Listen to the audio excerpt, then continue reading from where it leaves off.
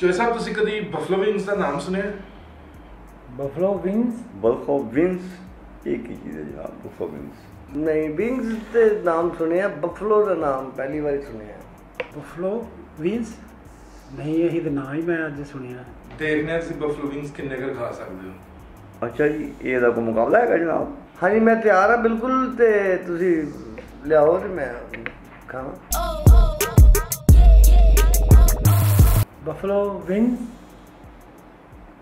Buffalo ਵਿੰਸ ਇਹ ਨਾਂ ਹੀ ਬੜੇ ਔਖੇ ਔਖੇ ਨੇ ਜਨਾਬ ਇਹ ਨੇ ਜਨਾਬ ਇੰਜ ਲੱਗਦਾ ਜਿਸ ਤਰ੍ਹਾਂ ਛੋਟੇ ਛੋਟੇ ਪੀਸ ਕਰਕੇ ਉਹਨਾਂ ਨੇ ਬਣਾਏ ਹੋਏ ਨੇ ਹੱਡੀ ਤੇ ਇਹਦੇ ਚ ਲੱਗਦਾ ਬਿਲਕੁਲ ਹੀ ਨਹੀਂ ਹੋਏਗੀ ਨਾ ਮੈਨੂੰ ਤਾਂ ਲੱਗ ਰਿਹਾ ਮਿਰਚਾਂ ਬਹੁਤ ਹੋਣੀਆਂ ਮੇਰੇ ਤਾਂ ਮੂੰਹ 'ਚ ਪਾਣੀ ਆ ਰਿਹਾ ਦੇਖ ਦੇਖ। ਨਹੀਂ ਵਿੰਗਸ ਤੇ ਪਛਾਣ ਹੈ ਉਹਦੀ ਉਹ ਸੀਖਾਂ ਤੇ ਲੱਗਦੇ ਨੇ ਖਾਦੇ ਵੀ ਹੋਏ ਨੇ। ਲੇਕਿਨ ਇਹ ਤਾਂ ਇੰਜ ਲੱਗ ਰਿਹਾ ਜਿਸ ਤਰ੍ਹਾਂ ਪਕੌੜੇ ਤਲ ਕੇ ਲਿਆਉਂਦੇ ਨੇ ਮੇਰੇ ਅੱਗੇ।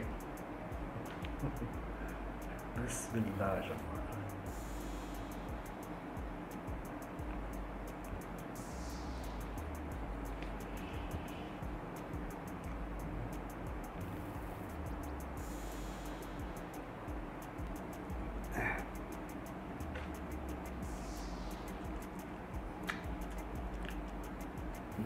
Котя, котя,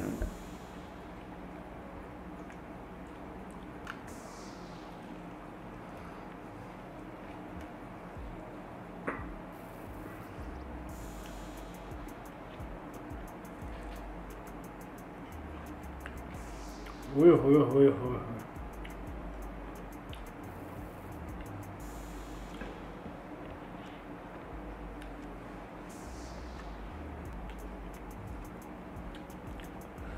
ਇਹ ਤਾਂ ਕਿਦਾਂ ਖੱਟੇ ਬਣੇ ਟਾਟ ਨਹੀਂ ਪਾਈ ਨੇ ਪਤਾ ਨਹੀਂ ਓਹ ਬੱਚਿਆਂ ਦੀਆਂ ਚੀਜ਼ਾਂ ਨੇ ਜਨਾਬ ਇਹਨਾਂ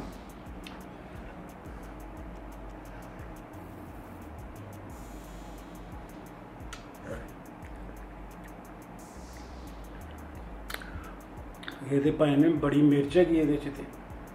ਕੀ ਕਰੋ ਮੈਂ ਤੇ ਪਹਿਲੀ ਵਾਰੀ ਇੰਨੀ ਮਿਰਚ ਖਾ ਰਿਹਾ।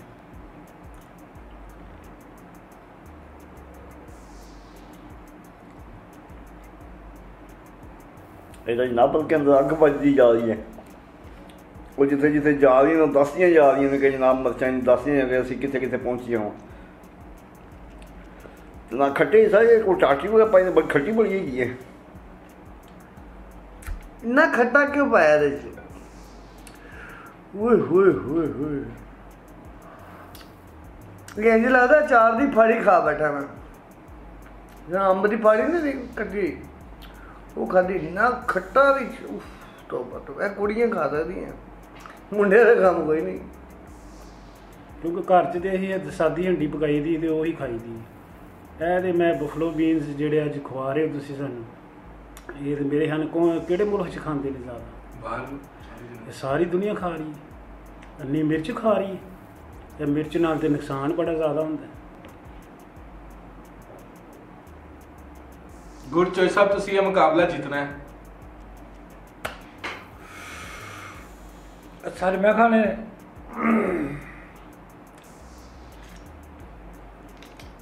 ਇਹ ਤਾਂ ਕੰਨਾਂ ਸੇ ਧੂਆਂ ਨਿਕਲਣਾ ਖੱਟੀ ਬੜੀ ਧੂਆਂ ਨਿਕਲਣਾ ਸ਼ੁਰੂ ਹੋ ਗਏ ਨੇ।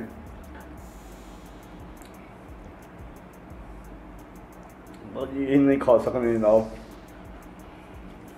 ਤੇ ਇਹਦੇ 'ਚ ਕੋਈ ਮਿੰਟ ਵੀ ਹੈ ਨਾ ਕਿ ਵੈਸੇ ਹੀ?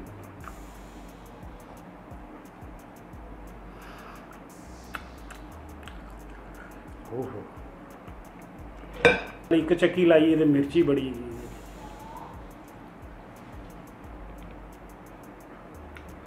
ਤੁਹਾਡਾ ਭਲੇ ਹੀ ਹੋਏ ਇਹ ਮਿਰਚਾਂ। ਤੁਸੀਂ ਕਹਿ ਰਹੇ ਹੋ ਸਾਰੇ ਖਾਣੇ ਮੈਂ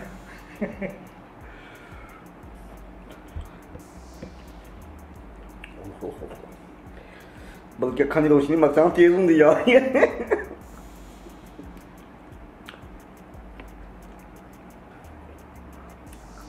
ਕੜਵਾ ਵੀ ਹੈ ਖੱਟਾ ਵੀ ਹੈ ਫਿੱਕਾ ਵੀ ਹੈ ਤਿੰਨ ਜ਼ਾਇਕੇ ਆ ਰਹੇ ਨੇ ਇਹਦੇ 'ਚ। ਜਦੋਂ ਮੁਰਗੀ ਅੰਦਰੋਂ ਨਿਕਲਦੀ ਫਿੱਕੀ ਹੋ ਜਾਂਦੀ। ਉਹ ਤਾਂ ਤਾਂ ਰੋਸਟ ਹੋ ਜਾਈ ਨਾ। ਇਹਦੇ ਵਿੱਚ ਮਿਰਚ ਕਿਧਰੇ ਘੱਟ ਹੋਵੇ ਨਾ ਇਹਦੀ ਜਗ੍ਹਾ ਤੇ ਕਾਲੀ ਮਿਰਚ ਪਾ ਦਿੱਤੀ ਜਾਵੇ।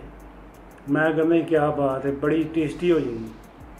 ਕਾਲੀ ਮਿਰਚ ਦੇ ਫਾਇਦੇ ਵੀ ਬੜੇ ਨੇ, ਬਾਦੀ ਵੀ ਮਾਰਦੀ ਹੈ ਤੇ ਹਾਜ਼ਮੇ ਵੀ ਸੈੱਟ ਰੱਖਦੀ ਹੈ ਤੇ ਇਹ ਯਕੀਨ ਕਰੋ ਕਿ ਮੇਰੀਆਂ ਨਾ ਪਰਸੀਨੇ ਛੁੱਟ ਗਏ ਨੇ, ਮੈਂ ਦੋ ਖਾਧੀਆਂ ਨੇ। ਮੈਂ ਜਿਹੜਾ ਖਾ ਲਿਆ ਤੇ ਬੜਾ ਮੇਰੇ ਵਾਸਤੇ। ਹੋਏ ਹੋਏ ਹੋਏ ਹੋਏ।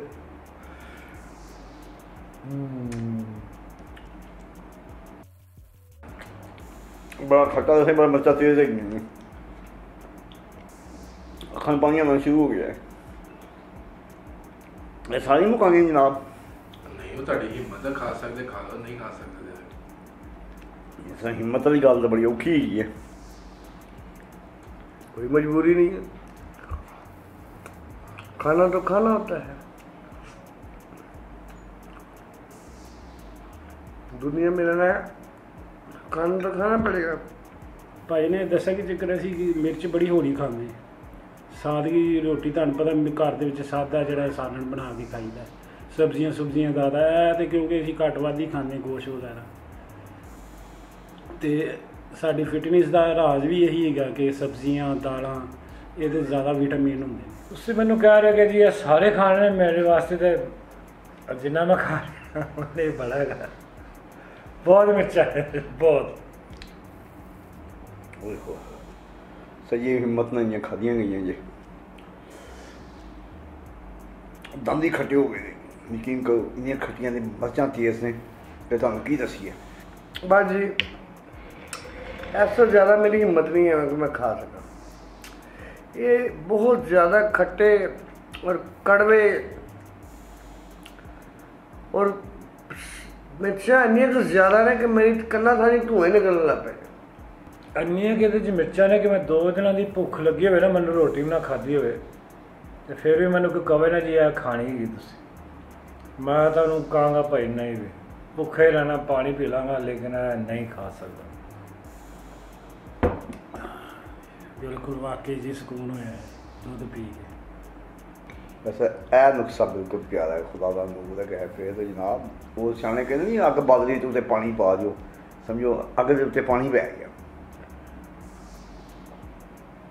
ਕੀ ਬਾਤ ਹੈ ਸੁਭਾਨ ਅੱਲਾਹ ਹਾਂ ਇਹਦਾ ਹੱਲ ਹੈਗਾ ਕੁਛ ਮਿਰਚਾਂ ਦਾ ਹਲਕਾ ਹੋਇਆ ਲੋਕ ਕਿਸ ਤਰ੍ਹਾਂ ਖਾ ਲੈਂਦੇ ਨੇ ਮੈਂ ਤੇ ਉਹਨਾਂ ਨੂੰ ਹੈਰਾਨ ਆ ਲੋਕ ਕਿਸ ਤਰ੍ਹਾਂ ਖਾ ਲੈਂਦੇ ਨੇ ਇਹ ਲੱਗਦਾ ਉਹਨਾਂ ਨੂੰ ਬਵਾਸੀਰ ਹੋ ਜਾਏਗੀ ਜੇ ਲਗਾਤਾਰ ਖਾਣਗੇ ਨਾ ਤੇ ਖੂਨ ਵੀ ਨਿਕਲਣ ਲੱਗ ਪਏਗਾ ਓਹ ਹੋ ਹੋ ਓਹ ਹੋ ਹੋ ਕੀ ਕੋ ਜਨਾਬ ਧੂਆਂ ਕਰਨਾ ਸੇਕ ਨਿਕਲਣਾ ਸ਼ੁਰੂ ਹੋ ਗਿਆ ਪਤਾ ਨਹੀਂ ਉਹ ਲੋਕ ਇੰਨੀਆਂ ਕਿੰਨੀਆਂ ਮਿਰਚਾਂ ਸੇ ਬਰਦਾਸ਼ਤ ਕਿ ਉਹਨਾਂ ਨੇ ਮੈਦੇ ਬਲੀ ਕਾਦੇ ਵਿੱਚ ਇੰਨੀ ਮਿਰਚਾਂ ਤੀਜ਼ ਬਰਦਾਸ਼ਤ ਕਰਦੇ ਨੇ ਸ਼ੁਕਰ ਅਲਹਮਦੁਲਿਲਾ ਤੇ ਮਿਰਚਾਂ ਤੋਂ ਜ਼ਬਾਨ ਤੋਂ ਸਾ- ਸਾੜ ਖਤਮ ਹੋਇਆ ਮੇਰਾ ਇਹਦੇ ਤੋਂ ਜਾਨ ਛੁੱਟੀ ਹੈ। ਮੇਰੇ ਚੁੱਕੋ ਭਾਜੀ ਸਾਨੂੰ ਤੁਸੀਂ ਇਜਾਜ਼ਤ ਦਿਓ ਫੇਰ ਇਨਸ਼ਾਅੱਲਾ ਮਿਲਾਂਗੇ। ਅੱਲਾਹ ਹਾਫਿਜ਼।